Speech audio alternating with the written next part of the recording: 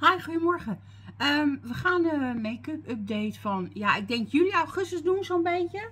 Ehm, het zit een beetje op de rand en ik heb ook een beetje in de laatste weken, augustus, begin september, nieuwe producten geprobeerd. Ik weet niet helemaal of dat dan wel of niet online is gekomen in augustus of september. Ehm, maar ik, ik heb hier eh, wat verzameld voor juli, augustus, zeg maar. En als je iets mist dat je denkt, oh, dat heb je ook gebruikt in september, um, maar dat zit er niet bij, dan komt dat, of in augustus, dan komt dat in september. Um, ik ga mijn bril opdoen. Um, het, loopt een beetje door elkaar. Het is een beetje chaotisch uh, aan het eind van de zomer geweest, ook met allemaal nieuwe dingen. Misschien is het handig om heel even mijn bril schoon te maken. Ik, hebben jullie dit ook? dit, die plukken, die gaan ineens allemaal kroezen en zo, want het wordt natuurlijk grijs. Oké, okay. um, laten we beginnen met primers. Ik heb drie primers geprobeerd, wat ik zeker weet. Uh, dat is de Dior Forever Glow Veil. Geweldig. Ik uh, was heel lang op zoek naar een proefje hiervan om hem te proberen. Um, uh, en die kon ik nergens vinden. Uh, 24 uur hydratatie staat erop. Concentrated in skincare. Deze is geweldig. Het is maar dat je het weet. Um, ja, proefje. Ik, en ze wilde geen proefje maken bij Dior voor mij. En dat kan natuurlijk. Ik ben niet bijzonder wat dat betreft. Uh, de, uiteindelijk heb ik toch maar de fles gekocht. Uh, en um, ben ik heel blij dat ik dat gedaan heb, laat ik het zo zeggen. Dan had ik met de nieuwe Catrice update deze Endless Pearls. Dit is precies dezelfde fles als die al een keer in um, de Villains collectie heeft gezeten. Die hadden ook van die bolletjes en zo. Dit is een hele fijne primer. Gewoon een beetje een jelly primer. Geeft een leuke glans aan je huid. Uh, is prima verder. Doet verder niet iets heel bijzonders. Maar het geeft een mooi effect. En dan de Soft Glam Filter Fluid Glow Booster. Die heb ik in de kleur uh, 10 Fair of 010 Fair van Catrice. Dat is deze. Dat is de dupe voor Charlotte Tilbury en Elf en noem maar op.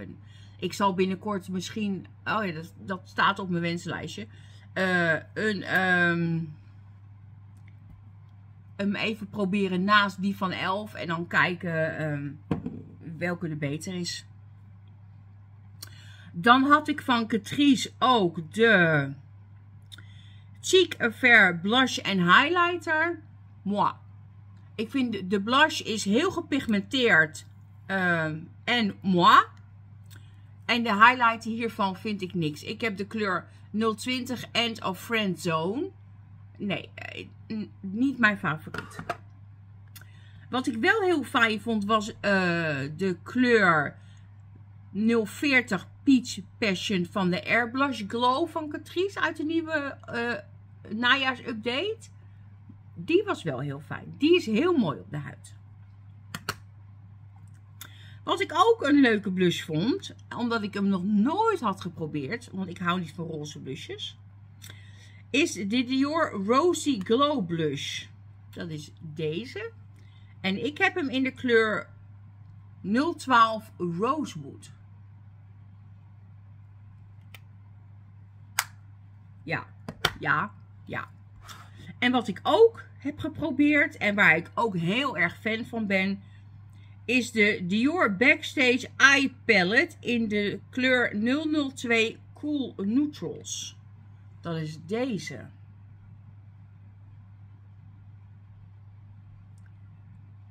Dit uh, heeft een primer, een highlighter, een sculpting powder, shimmers en mattes.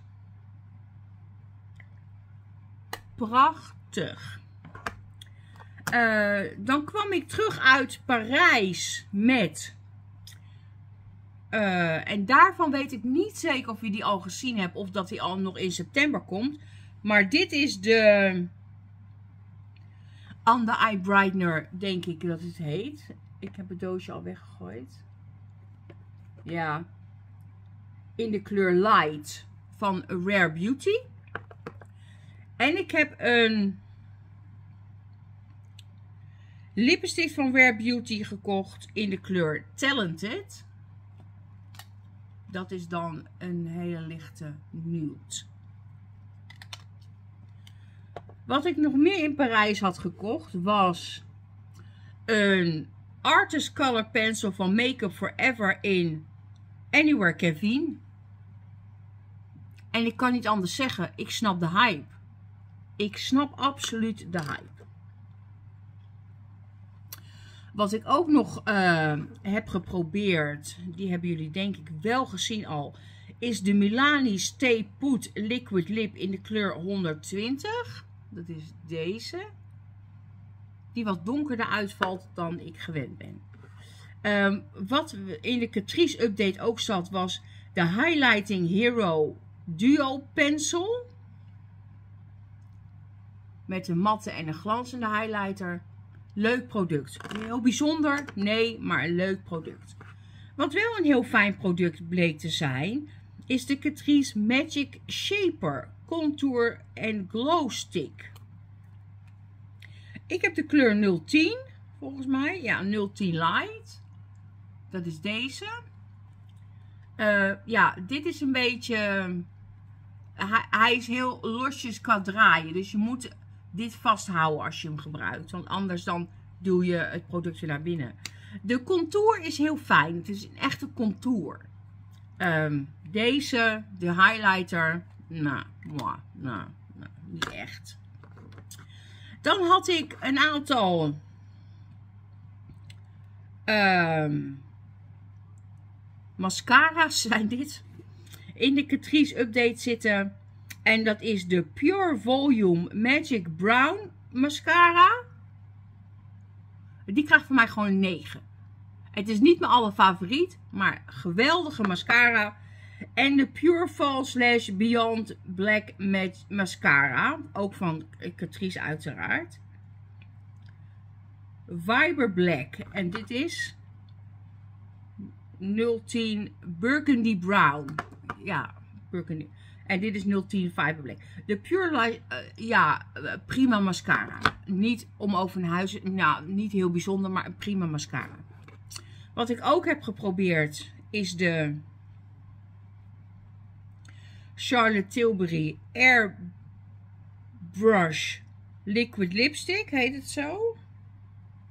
Blur lip, lip, blur stick, blur iets, blur. Um, en ik heb de kleur Pillow Talk Blur. Ja, het voelt gewoon als een soort moes op je lippen. Blijft het lang zitten bij mij? Nee, maar dat doen de meeste dingen niet. Maar goed, uh, ja.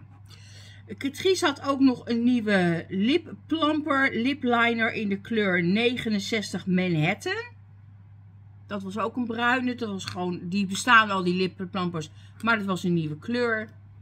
Ik heb van Dior een lipliner pencil gekocht in de kleur 100 Nude Look.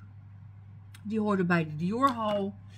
En wat ik laatst geprobeerd heb, waarvan ik ook niet zeker weet in welke maand die online komt, maar goed, is de Halo Healthy Glow 4-in-1 Perfector Pen. Dit is de nieuwe concealer van de Smashbox Halo Line. Smashbox Halo Line. Uh, en die vind ik heel fijn. En deze...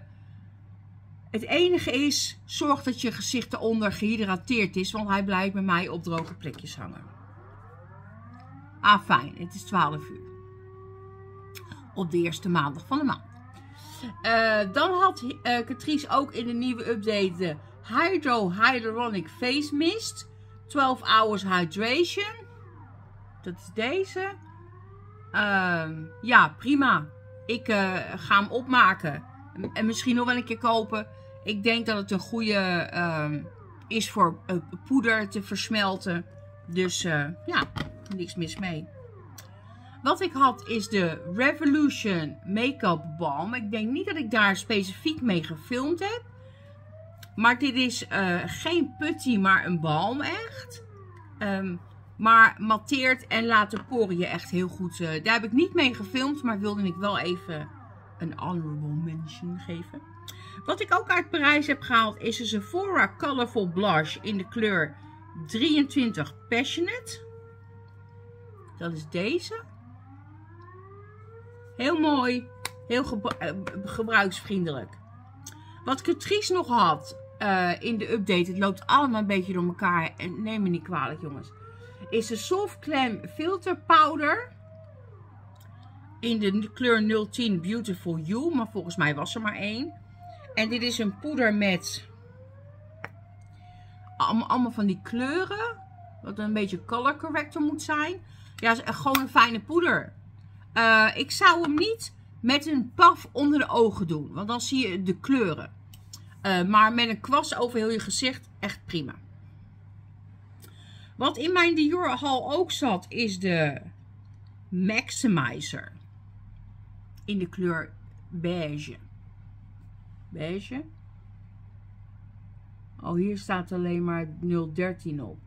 De Dior Actic Ad- Ad- Addict Maxima, Lip Maximizer. Het is gewoon een, een lipgloss. En ik had de Dior Addict. Ja, ik weet niet wat het is. Dior Addict 418 beige oblique staat er. En dat is een lippenbalmachtige substantie. Heel mooi, iets donkerder dan wat ik nu op heb. Dit is ehm, Boy van Chanel. Als laatste heb ik drie mascara's. Ik weet niet of ik met deze gefilmd heb. Dit is de Mina Volume Mascara. Ja, is prima. Is het geweldig? Nee. Is het slecht? Nee. Is prima. De Revolution 5D, 5D Whip Lift Waterproof. Is het goed? Ja. Is het slecht? Nee. Is het bijzonder? Nee. Prima.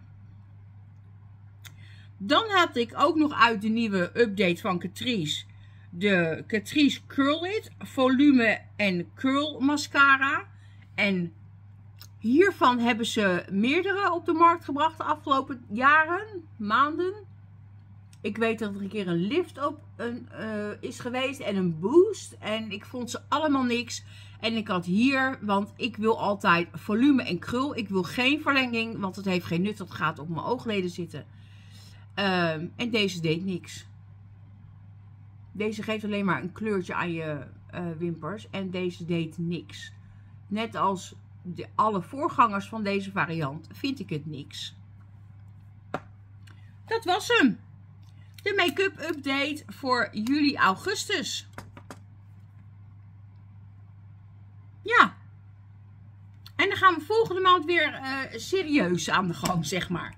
Bedankt voor het kijken en eh, duimpje omhoog en abonneer op mijn kanaal.